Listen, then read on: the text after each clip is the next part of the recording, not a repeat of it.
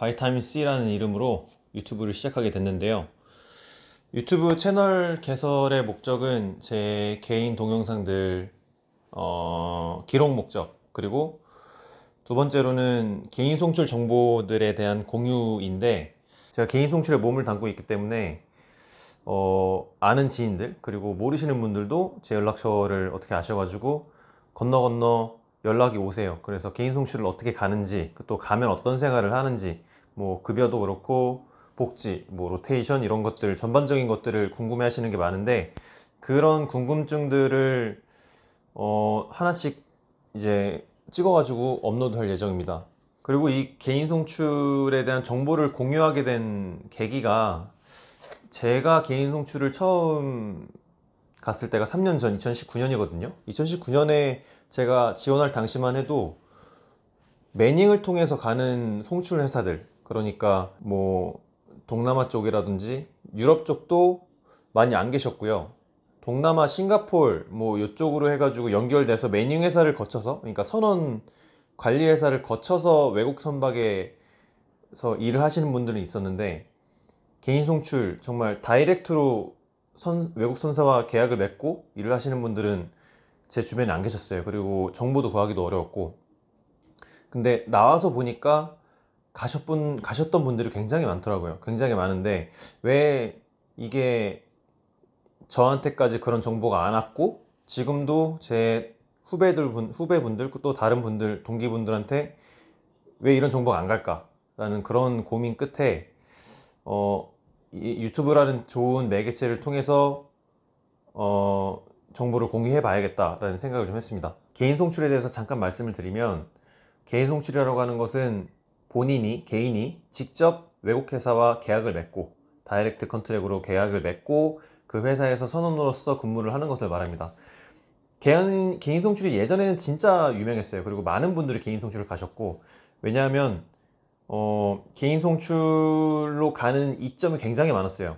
우리나라 선원들의 대우가 70년대, 80년대 예전에 우리나라가 경제력이 많이 뒤쳐졌을 때 그때는 상대적으로 외국 회사가 돈도 많이 주고 로테이션도 좋으니까 많이 갔는데 지금은 임금 격차가 그렇게 많이 나잖아요. 오히려 한국이 뭐 동유럽은 고사하고 유럽 EU 전체 EU 평균 임금보다 많이 받는다는 거는 이미 통계적으로 나와 있어요.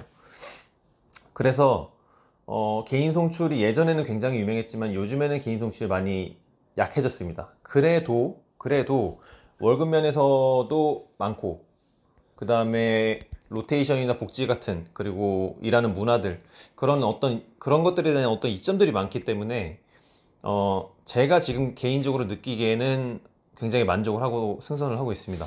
이 로테이션이 한국 회사 같은 경우는 보통 해양대나 해고를 졸업하고 일반 해운회사의 3등 항해사, 3등 기관사로 복무를 시작하게 될 경우에는 계약서에 6개월 승선에 아마 뭐 한 2개월, 2.5개월 하선 이렇게 하, 겠죠 하죠?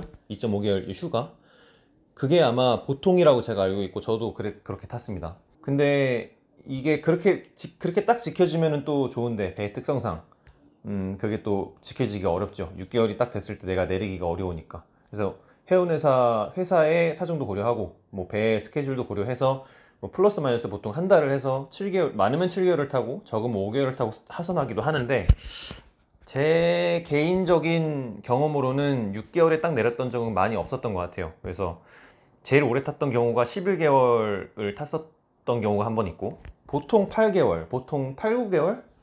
네, 짧아야 7개월 정도 탔던 것 같습니다.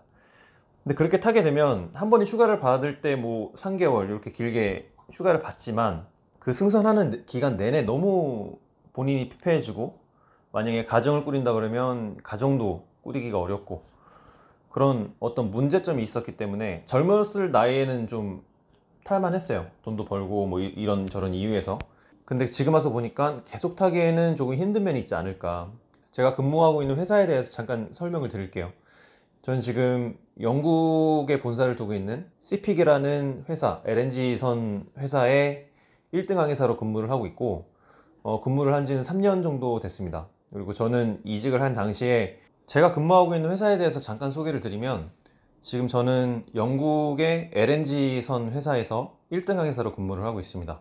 그리고 복지나 이런 월급 같으면은 간단하게 한국과 비교를 해서 드리, 설명을 드리면 1등 항해사 기준으로 1등 항해사 기준으로 로테이션은 여기는 3개월 승선에 3개월 하선 뭐 2개월 승선에 2개월 하선도 있을 수 있고 4개월 타면 4개월 휴가 이런 식으로 되고요 그 다음에 월급 같은 경우는 환율 따라 좀 다른데 그리고 회사마다 개인 송출도 회사마다 pay scale이 다 달라요 그래서 한국인이 어떤 대우를 받느냐에 따라서 그 pay가 좀 다를 수가 있는데 저희 회사 같은 경우는 한 900만 원 선대 왔다 갔다 합니다.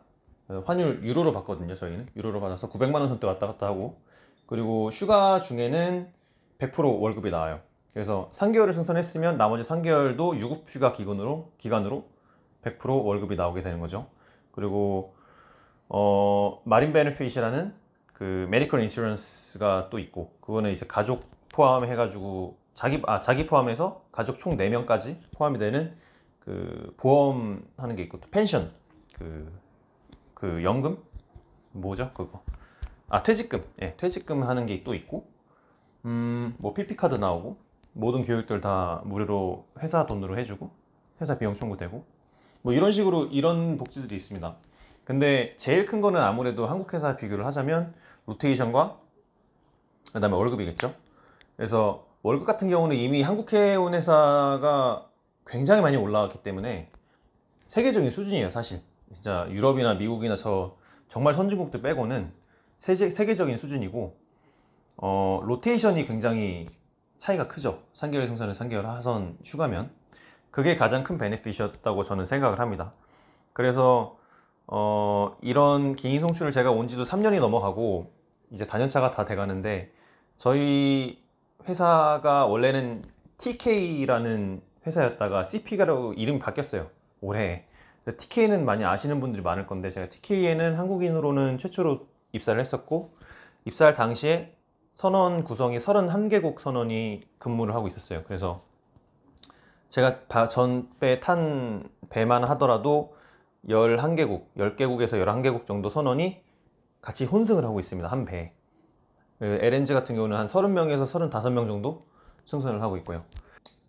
여튼 그래서 어, 앞으로 개인 송출에 대한 정보들 그리고 지원하는 방법이나 음, 뭐 생활하는 것들 들어가서 어떻게 뭐 공부해야 될 것들 들어가기 전에 준비해야 될 것들 어, 그리고 뭐 세금 문제도 있을 거고 뭐 로테이션이나 월급 같은 면도 제가 방, 지금은 간략하게 회사 소개를 하면서 말씀드렸지만 어, 다른 업로드 영상에는 조금 디테일하게 하나씩 파서 모든 정보를 올려놓도록 하겠습니다. 제가 개인 송출을 준비하고 들어갈 때 너무 정보가 없어가지고 너무 힘들었어요. 그리고 가서 보니까 가신 선배들이 굉장히 많았는데 왜 나한테까지 이런 정보가 안 왔을까? 라는 그런 아쉬움도 있었고 그런 정보가 없었기 때문에 제가 여러 가지 실수도 많이 했었어요. 그런 건 나중에 또 후기에 올리겠습니다. 근데 그런 것들을 다른 회계사분들은 또 정보를 좀 가지시고 더 쉽게 조금 더 능력을 있으신데 정보가 없어서 못 오시는 분들이 없도록 어, 그런 목적에서 올리는 거거든요. 그래서 어, 혹시라도 개인 송출에 대해서 궁금해 하시거나 필요한 정보가 있으시거나 그러면 언제든지 댓글이나 쪽지로 남겨주셔도 되고 제가 유튜브는 자주 안 봐서 인스타그램을 링크로 걸어놨으니까 인스타그램 쪽지를 주셔도 되고요. 그리고 뭐 영국을 가서 교육을 받는 것들 그리고 해외에 가서 교육을 받거나 어 여러 국적의 선원들과 혼승하는 과정에서 일어나는 재밌는 일들 그런 경험들 여러 가지 동영상들도 어 자주 올릴 테니까요. 많이 지켜봐 주세요. 고맙습니다